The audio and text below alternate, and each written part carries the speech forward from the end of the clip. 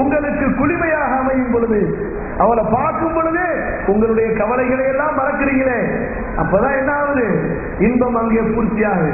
அதனால அல்லாஹ் தாரா அவளுக்காக வேண்டிய இந்த உலக வாழ்க்கையின் அற்ப இன்பங்களை அசிங்கங்களை அனாச்சாரங்களை இந்த உலகத்தினுடைய அற்பத்தை எல்லாம் திறந்து வந்த அந்த தியாகிகளுக்கு அல்லாஹ் சொல்லுகிறான்.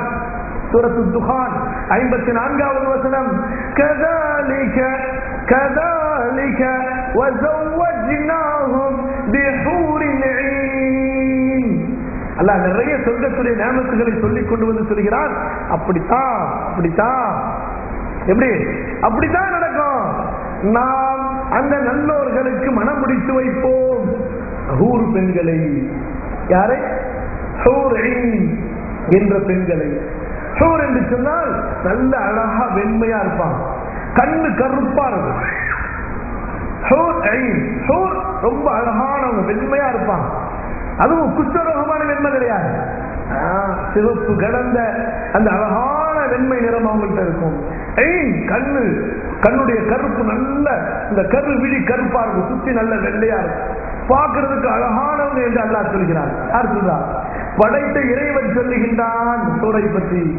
நான் மனம் முடித்து வைப்பேன் என்று சொல்கிறான். زوجناهم بحور عين அதே போல அல்லாஹ் சுப்ஹானஹு வ தஆலா சூரத்து தூர்ல நல்லோர்கள் அந்த ஹூர் பெண்களோட ஹூர் ஈன் என்ற அந்த கண் அழகிகளான வெண்மையான அந்த பெண்களுடனே அவர்கள் இன்பமாக வாழ்வதை சொல்லுகின்றான் முத்தகீன் அலா சூரின் மஸ்பூபத்தின் وزوجناهم بحور عين நாம் மனமுடித்து வைப்போம் நம்முடைய நல்லடியார்களை கண் அழகிகளான அந்த வெள்ளை நிற பெண்களுடனே நாம் மனம் முடித்து வைப்போம்.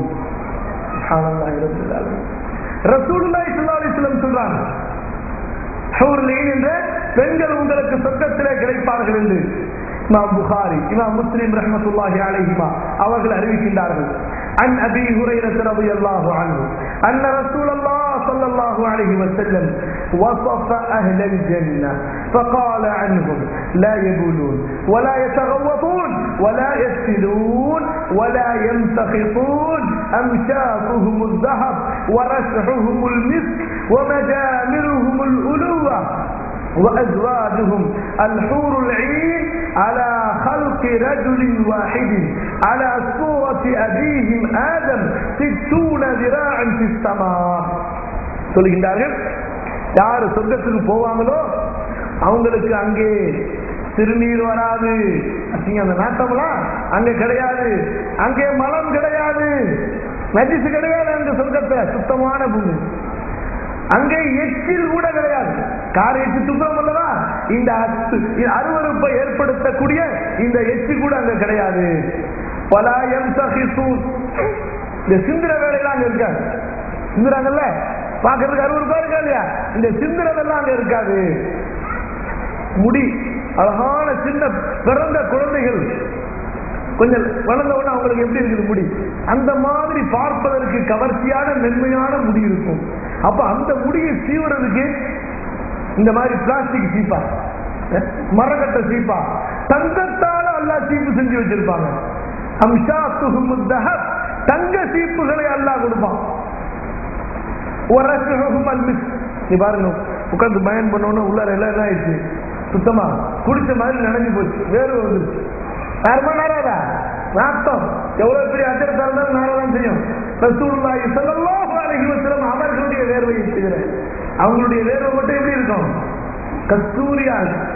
நபிசுல்லா அலிஸ்லமுடைய மனைவிமார்கள் எல்லாம் ரசூலுல்லாஹி ஸல்லல்லாஹு அலைஹி தூங்கும் பொழுது அந்த வேர்வை எடுத்து பாட்டில் வச்சுப்பாங்க. அவ்வளவு வாசனையாக இருக்கு ரசூலுல்லா ஒரு தெருல நடந்து போனாங்கன்னா அந்த தெருல ரசூலுல்லாஹி ஸல்லல்லாஹு அலைஹி வஸல்லம் நடந்து போன அந்த அடையாளத்தை மக்கள் தெரிந்து கொள்வார்கள் ஏன் தெரியுமா அந்த தெருவே மணக்க ஆரம்பிச்சு சுப்ஹானல்லாஹ். ஆயிஷா ரலியல்லாஹு அன்ஹா சொல்லுகின்றார்கள் மா شممت طيبا اطيب من طيب رسول الله صلى الله عليه وسلم وما مست يدي وما مست يدي ألين من يد رسول விட சிறந்த ஒரு நறுமணத்தை நான் உணர்ந்தது கிடையாது. ரசூலுல்லாவின் மிருதுவான கரத்தை விட ஒரு மிருதுவான பட்டை நான் தொட்டது கிடையாது. எவ்வளவு பொறுமையான மீறினார் அப்ப இங்க என்ன வருது இங்க? வேர்வை. இந்த வேர்வை நாட்டடிக்குது சொர்க்கத்திலேயும் வேர்வை வரும். ஆனா சொர்க்கத்தினுடைய வேர்வை கஸ்தூரியாக இருக்கும். என் மனம் கமலும் அங்கே பத்தி இருக்கு ஊது பத்தி நம்ம ஆளுக்கு பத்தினா உடனே என்ன ஞாபகம் வந்துடும் ஆ, வியாழக்கிழமை ராத்திரி ஞாபகம் வந்துடும் இல்லையா? அங்க பத்தி இருக்கும். அங்க பத்தியே சுபஹானல்லா இரம்பில் ஆலமீன். ஊர் அல்லாஹ் தாலா மிக நறுமணமான ஒன்றை அங்கே அவர்களுக்கு புகட்டுவான். நெருப்பு இல்லாமலேயே அந்த வாசம் வந்துகிட்டு இருக்கு நெருப்பு கிடையாது. அவர்களுடைய மனைவிகளாக இருப்பார்கள். அது ஹூருல் ஈன் என்ற கண் அழகிகளான வெண்மை நிற பெண்கள் இருப்பார்கள். அவங்க சொர்க்கத்துக்கு போறவங்க எல்லாம் எப்படிங்க? நெட்ட குட்டை நொண்டி கண்ணு இல்ல கால் இந்த மாதிரியா? இது இந்த துன்யாவதான் நீங்க சொர்க்கத்துக்கு போகும் பொழுது இன்ஷால்லா எல்லாம் ஒரே மாதிரி இருக்கீங்க எப்படி இருப்பீங்க? அல ஹல்கி ரஜுலி வாஹி ஒரே ஆள் மாதிரி சேம் பேட்டர்ன்ல எடுத்து எடுக்கப்பட்ட ஒரே ஆள் மாதிரி இருப்பீங்க. ரசூலுல்லா இஸ்லாலிசன் சொன்னாங்க உங்களுடைய தந்தையாகிய ஆதமை அல்லாஹ் கிடைத்தான் அல்லவா ஆரம்பத்திலே எழுபது கை நீளம். அந்த உயரத்தில் நீங்க இருப்பீங்க. ஒரே ஆள் மாதிரி இருப்பீங்க. அப்ப நமக்கு யார் அங்கே மனைவிகளாக வருவார்கள்? யார் வருவார்கள்? என்ற பெண்கள் வருவார்கள் என்று ரசூலுல்லா இஸ்லா அலிஸ்லம் சொன்னாங்க. இன்னொரு ஹதீஸ் பாருங்க. இமாம் முஸ்லிம் ரஹமத்துல்லாஹி அழகி அறிவிக்கிறாங்க. அன் அபி சயீத் அல் குத்ரி ரலியல்லாஹு அன்ஹு. أن رسول الله صلى الله عليه وسلم ذكر أدنى أهل الجنة منزلا. ومما جاء فيه قوله صلى الله عليه وسلم ثم يدخل بيته. فتدخل عليه زوجتاه من الحور العين فتقولان الحمد لله الذي أحياك لنا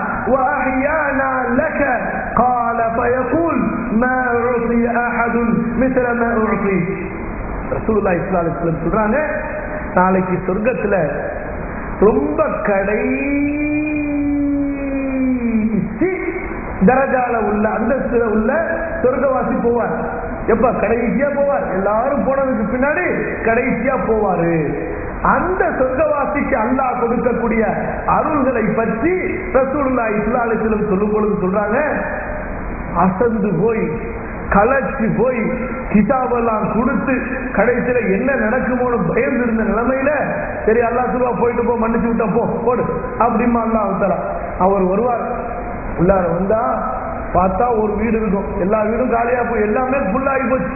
என்ன செய்யறது ஒரே ஒரு வீடு தான் இருக்குது. யாரெல்லாம் என்ன செய்யறது இந்த வீட்டையும் ஒண்ணு நமக்கு மாதிரி தெரியலையே. யாரெல்லாம் எனக்கு எதுவுமே கிடையாதா? உள்ளார போச்சுன்னா உள்ளார போனா எனக்குன்னு ஒண்ணுமே இல்லையே. எல்லாம் அவங்கவுங்க பேர் எழுதி விட்டு அப்படின்னு சொல்லிட்டு பார்த்துட்டு திரும்ப வருவார் சொல்லுவோம் போ போ இருக்கும் போ உள்ளார போ அப்படின்னு சொல்லிட்டு. அங்க போனா ஒரு அறை இருக்கும் ஒரு ரூம் இருக்கும். சரி இதான் நமக்கு கிடைச்சிட்டு போல உள்ளார போனா அங்க அது இந்த உலகத்தை விட பெருசா இருக்கும். சுப்ஹானல்லாஹ். பாக்குறதுக்கு எப்படி இருக்கும்? அப்படியே சின்னதா காட்சி தரும். அங்க போனாதான் தெரியும் அதனுடைய விசாலம் எவ்வளவு பெருசா இருக்குன்னு சொல்லி. பாத்திருக்கீங்களா இல்லையா? சில பேர் வந்து வீடு கட்டி கதவு சின்னதா இருக்கும். உள்ளார திறந்துட்டு போனா எப்படி இருக்கு வீடு? பெரிய பிரம்மாண்டமான மாளிகையா இருக்கும். வீடு பெருசுக்கா கதவு கட்ட முடியும்? ஒரு ஒருத்தர் வந்து பெரிய ஒரு ரெண்டு ஏக்கர்ல வீடு கட்டாரு ரெண்டு ஏக்கர்ல கதவா வைக்க முடியும். கதவு ரெண்டு ஏக்கர்ல கதவு இருக்காரு கதவு அதிகப்படியா ஒரு பத்து அடி பதினஞ்சு அடி இருபது அடி முப்பது அடி அவ்வளவு பெருசுதான் கதவு வைப்பாங்க. உள்ளார போய் பார்த்தாதான் ரெண்டு ஏக்கர்ல உள்ள வீடு நம்ம பார்க்க முடியும். சரி. அந்த அறைக்குள்ளார போவார். அங்க போன உடனேயே அவருடைய அந்த களைப்பு அந்த அசதி அவற்றையெல்லாம் அவர் மறக்கும்படியாக ரெண்டு கூர் பெண்கள் அவரை வரவேற்பதற்காக காத்து நிற்பார்கள். கதவை திறப்பார். அந்த ரெண்டு மங்கைகளை அங்கே பார்ப்பார். அல்லாஹ் அக்பர். கண் குளிர்ச்சியா இருக்கும். அந்த ரெண்டு பேரும் இவரை பார்த்த உடனே உங்களுக்காக நாங்கள் ஏங்கிக் கொண்டிருந்தோம். நீங்க எப்ப வருவீங்கன்னு சொல்லி அல்ஹம்துலில்லாஹ் உங்களுக்காக எங்களை படைத்த அல்லாஹுவை புகழ்கிறோம். எங்களுக்காக உங்களை படைத்த அல்லாஹுவை புகழ்கிறோம் அப்படின்னு புகழ்வாங்க இதாங்க மனைவி. மனைவி எப்படி இருக்கணும்?